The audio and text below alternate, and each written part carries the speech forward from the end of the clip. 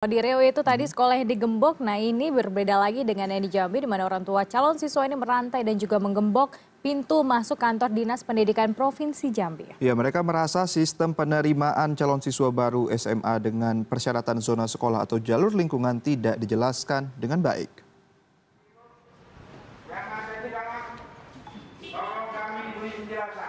John Akbar, orang tua calon siswa SMA negeri di Jambi, merasa kedatangannya ke kantor Dinas Pendidikan Provinsi Jambi diabaikan. John kesal karena anaknya dan beberapa calon siswa lain tetap tidak diterima di sekolah tempat yang mendaftar, meskipun sudah menggunakan jalur lingkungan. John berpedoman pada peraturan Menteri Pendidikan tentang sistem zonasi, yaitu sekolah yang diselenggarakan pemerintah daerah wajib menerima calon siswa yang bertempat tinggal di radius terdekat dari sekolah. Banyak pak, ini saya hanya sendiri. Kalau saya dengar-dengar, saya amatin, saya satukin. Banyak masyarakat itu mengeluh.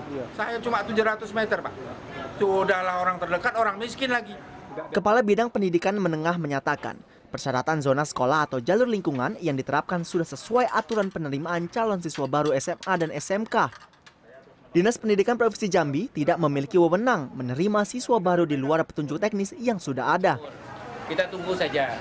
Ya kalau masalah kebijakan, saya sekarang menceritakan sampai hari ini aturan main kita di Juknis. Ya, aturan main kita di Juknis sampai hari ini. Soal Merasa tidak mendapat solusi, John pun meninggalkan kantor Dinas Pendidikan dan akan mengadu ke DPRD Jambi.